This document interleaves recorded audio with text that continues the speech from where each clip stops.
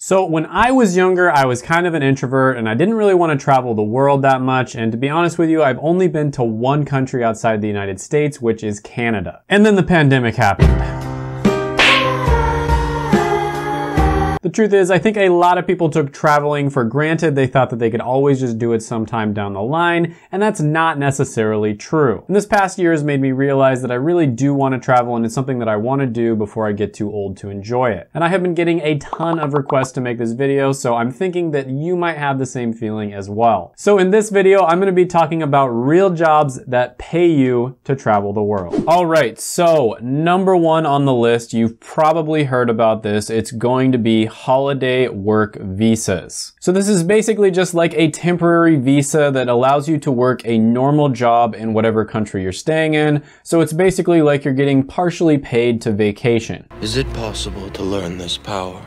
Now, sometimes they'll help you find a job. Sometimes you're to kind of be on your own. And there's other channels that have covered this extensively here on YouTube, so I won't go into it very much. And most of the time, the jobs you're to get are going to be relatively low paying just because the employer knows that you're going to be leaving in a few months. And so they don't want to spend all that time and effort to train you. So some countries that are really well known for doing this are going to be South Korea and Australia, for instance. So let's say you go to South Korea, for instance, you can get a tutoring job that pays around 20 to $30 an hour, which is enough for you to live off of, and you're gonna be in a part of the world where it's very easy for you to fly to other countries and visit them. You could also go to Australia, for instance, and find a job that makes maybe 20 to $30 an hour maximum, but you get to live in freaking Australia, which is awesome, and it's also a great location to travel to other parts of the world as well. So this allows you to travel and go to parts of the world that you wouldn't be able to otherwise, even if you don't have very much money, and so it can be a great option for some people. However, However, this is probably not going to be a long-term solution. It's more something that you'd maybe do for a few months or a few years at most. Next on the list, we are going to be talking about freelance work. Oh man,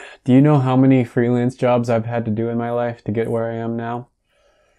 So freelance work is basically where you do gigs for whatever type of skill you have. So for instance, someone might hire you to design their website and they might pay you a few thousand dollars for your work. But this could be any number of different skills. There are lots of gigs out there where you can get paid over a $100 an hour for your work. And there are a ton of different sites out there you can do gigs on. One of the best ones is going to be upwork.com. So if you either have a skill that's already marketable or you find one that's really rare that not that many people are good at, you can go on this website, post your gig, and and you will have people contact you. Once you feel really confident about that, you can go off and travel. So sometimes these gigs will be very niche. So one example I saw a few years ago that was really good was there is this uh, software service called ClickFunnels that a lot of internet marketers use. And if you are good at programming that software service and navigating it, they'll pay you really good money for that, like 30 to $50 an hour sometimes. Another really good one is obviously going to be different types of programming skills. Depending on what language or framework you know, you can get paid 50 plus dollars an hour very easily, sometimes over a hundred. Now, number three is going to be opening your own business. Now, this isn't going to be one where you can just apply for and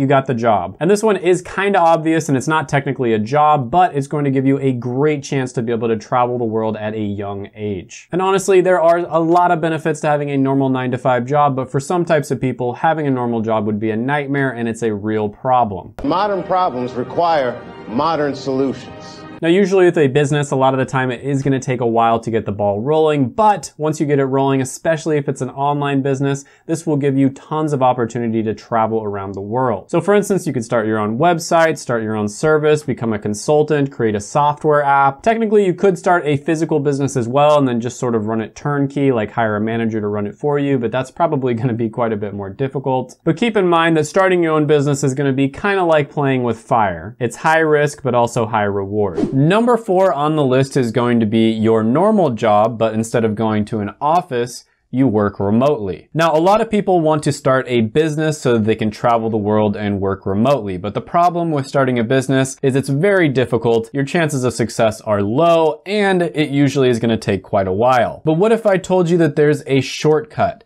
A cheat code that only big brain people know about? Well, if there's anything that we've learned in the year of 2020, there are a ton of jobs out there that can actually be done remotely. You don't have to go into an office to do them. Or at the very least, 80% of it can be done from home. Now, some of you are probably thinking there's no way that my job can be done remotely. I'm the exception to the rule, but I'm telling you right now, there's probably some way that at least a significant amount of your job can be done from home or maybe traveling the world. Or if it can't be done, then at the very least, you could probably transfer to another job that's very similar to yours that can be. So even as a healthcare worker, for instance, you'd think maybe there's no way that job can be done remotely, but I have a very good friend who actually switched over to a remote version of the job she was doing. She's a pharmacist as well, and she got paid almost as much. She only had to take a small pay cut. And on top of that, I'll never forget this computer programmer that I met in Las Vegas who had these just nice nicest gig I've ever seen. It really changed the way that I thought about work in general. He was basically a database architect that got paid to work about 10 hours a week usually, and he made over $200,000 a year. I would run into him at McDonald's and different coffee shops around Las Vegas when I was studying in pharmacy school, and we would always chit chat. He was a really cool guy. And he basically had the freedom to travel anywhere he wanted to and do anything that he wanted to, and all he had to do was work around 10 hours a week on average. Anyways, Again, programming skills are great here. Um, there's other skills that are going to be much more uh, better suited for remote work. And so it's definitely worth it to check out some of my other videos because I've talked about this extensively. Next on the list is one that you might not have thought would be on this list, and that is going to be military and specifically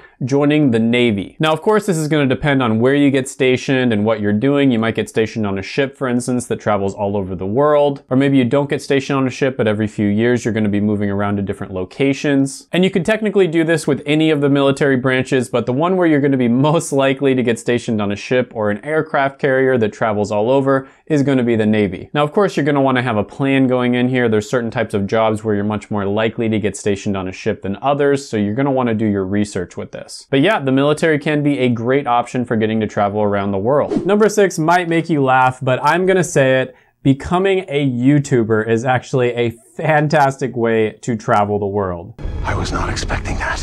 And here's why. When you're a YouTuber, you can actually get a lot of your trips sponsored. That's right, whenever you're watching one of your favorite YouTubers and they're doing some kind of cool trip where they're vlogging along the way and they're kind of just taking you with them, there is a secret reason why they're doing that. Actually, there's several secret reasons. I mean, don't get me wrong, vlogging is fun and all, but a lot of the time if you're gonna go on vacation, you probably just want to relax. But for one, a lot of the time you can actually get parts of your trip sponsored. So let's say you're going to a really fancy restaurant or you're going to stay at this hotel, they will actually comp all of that as long as you mention it in the video. And then on top of that, many of the travel expenses you can actually write off on your taxes because of the fact that you are technically making it for YouTube. Now this is especially true if you are a travel vlogger. Uh, these people will get crazy tax benefits just because of the fact that they're taking videos along the way, and that's technically how they make their money. But even if they are not a travel vlogger, just including a short clip that you put in one of your YouTube videos sometimes is enough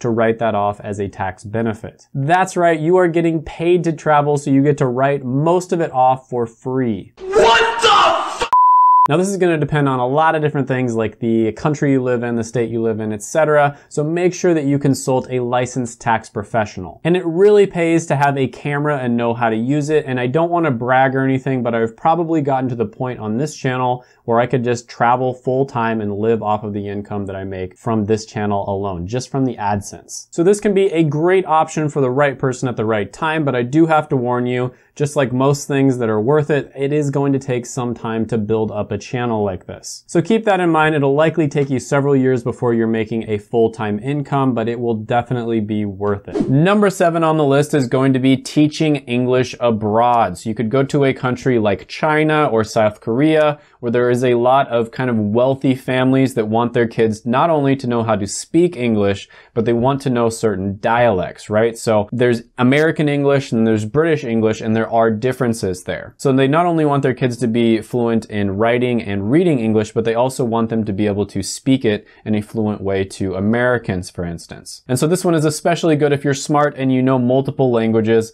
Unlike me. Ooh, self burn. Those are rare. And a lot of the time it's less of, you know, teaching people the basics of English and more of just having a conversation with them. Now this one is getting relatively saturated, especially depending on where you go. There's a lot of people who kind of figured out that this is a great way to make money. And so there are many people doing this and depending on where you go, it might be pretty saturated. But it can be a great option for the right person. Next, number eight on the list is going to be somebody that travels for a living like a pilot or a flight attendant. There are many different careers careers out there that travel for a living, and it's not just, you know, flying type careers. You could also work on a ship, for instance. And in many of these careers, you'll be able to go all around the world, and sometimes you'll get to spend a few days at a time in different locations just to sample them out and try them. And with airlines, for instance, if you're smart about it, you can strategically plan your trips so that you get to spend a few days, maybe your weekend, for instance, someplace that you would like to maybe live in the future. You get to test it out, and it's almost like getting paid to vacation there for a few days. On top of that, many airlines are going to offer steeply discounted or just completely free flights to all kinds of different places in the world if you work for them. Next, we're gonna be talking about travel nurses. Now, nursing is one of those professions I've mentioned many times on this channel that is really good, not only just when you look at it at a base level, you know, you get paid really well, but it's also extremely flexible. So honestly, I'm talking about travel nurses here, but there's a lot of other types of healthcare professions where you can also travel as well. So there are many places, sometimes this is gonna be within the United States and sometimes even worldwide, that are gonna need extra help from healthcare professionals. So basically, you would sign up with an agency and they would tell you what places are in need of extra help, and you would travel to those places and maybe you'd stay for a few weeks or a few months, sometimes even longer than that,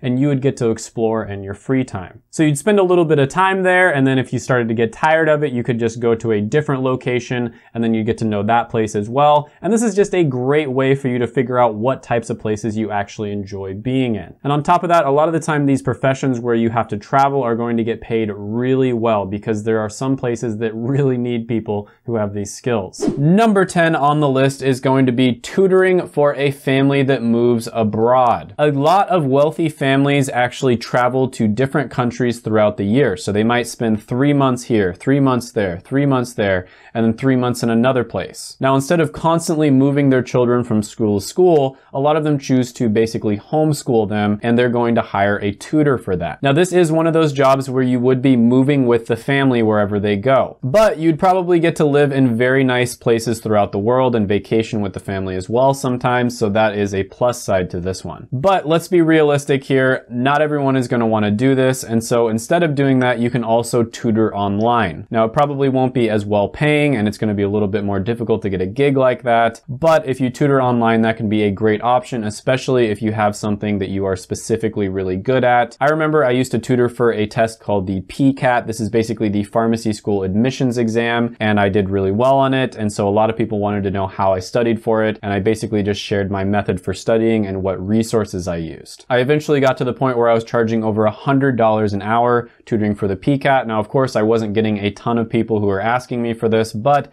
it was really good side hustle money, especially for a college kid. If you haven't done it already, go ahead and gently tap that like button, hit the subscribe button, ring the notification bell, comment down below any thoughts, comments, criticisms, etc. that you have on the video. And before you leave, check out my other videos right here. I made them just for you.